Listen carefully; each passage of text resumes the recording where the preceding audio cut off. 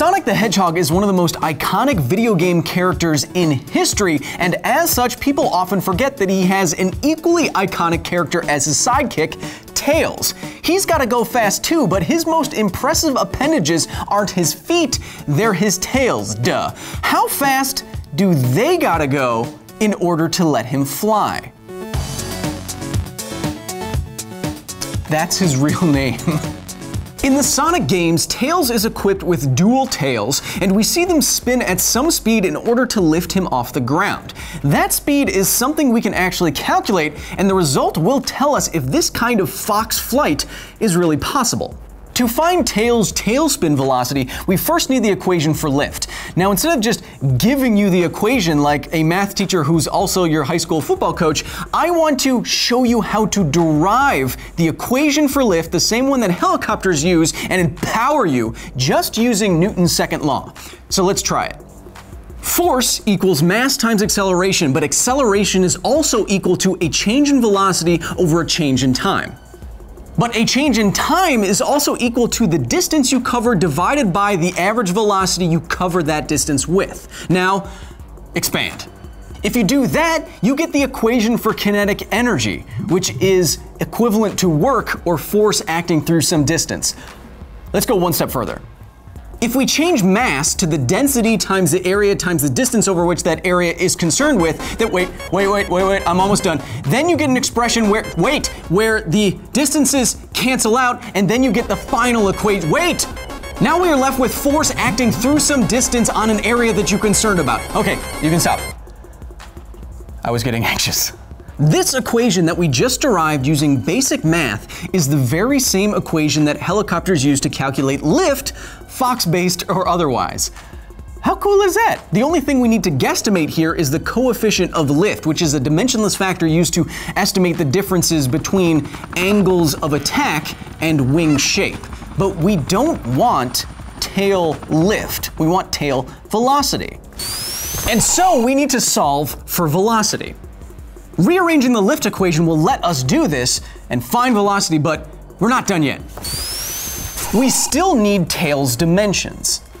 For this, I'm going to consider the basics, when Tails is hovering. If that's the case, then the lift he needs to generate is equivalent to Tails' mass times gravity, mg, and Tails has a mass of 20 kilograms. I'm also going to assume that the density of air he is hovering in is normal room temperature air at sea level, which has a density of 1.225 kilograms per cubic meter. I'm also going to assume a lift coefficient somewhere between 0.2 and 1.2 because that is a general range for helicopters. And for the area that Tails' tails sweep out, I'm going to look closely at Tails.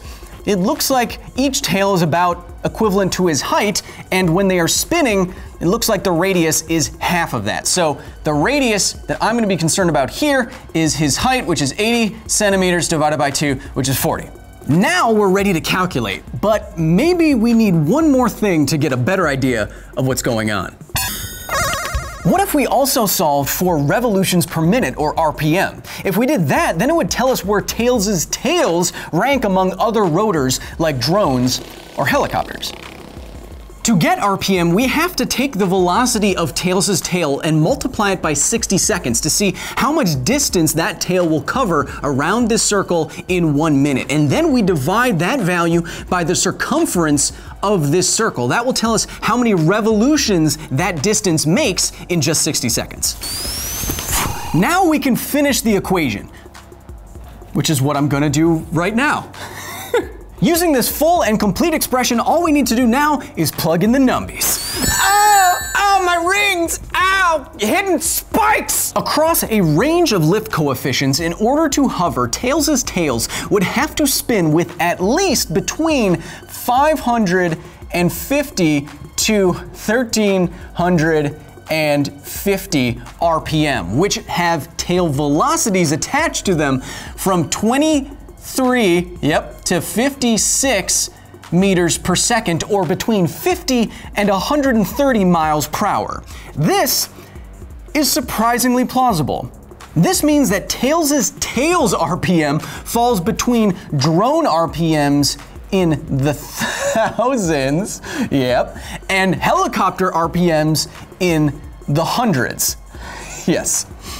Again, this makes total sense. Tails' tail RPM is a lot slower than a drone's because it pushes on a lot more area, but it's a lot faster than a helicopter's because it has to compensate for not pushing on all of the area of air that a helicopter does.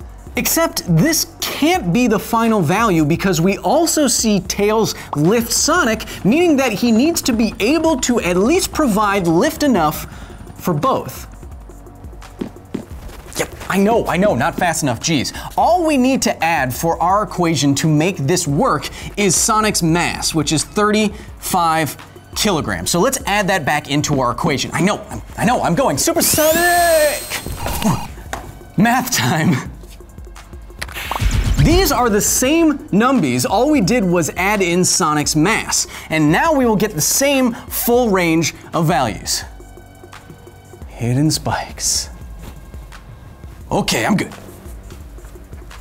Given our final equation, Tails' tails would have to spin with an RPM at least from 900 to 2200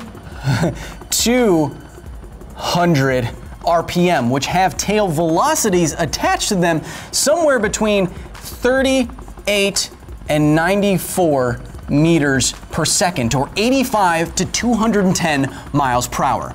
That's how he flies! Again, these are plausible speeds, but only if we give the fox the benefit of the doubt. As you can see in this perfect rendering and in this in-game footage, it certainly looks like Tails' tails are directly above him, which doesn't seem like a problem until you realize that all the air that the tails are pushing down would, yes, provide a lift, but then directly push on Tails' body, canceling out or making it very, very hard for Tails to fly in the first place. So, uh, giving him the benefit of the doubt, let's just assume all of the air is being pushed out to the side and not right onto his body. So, how fast do Tails' tails gotta go in order to let him do what we see him do in the video games? Well, assuming that his tails could actually spin like that in the first place, they wouldn't have to go any faster than a helicopter's blades and slower than a drone's, which makes total sense. If he was any heavier, then this may not work, but he's right there in the butter zone one. And you know what's really cool is that to go as fast as Sonic, Tails' tails don't have to move any faster than Sonic's feet. Because science, hey! All my little animal friends are here! Oh, they're all here with me! Let's, let's go spread the word of pointless calculation.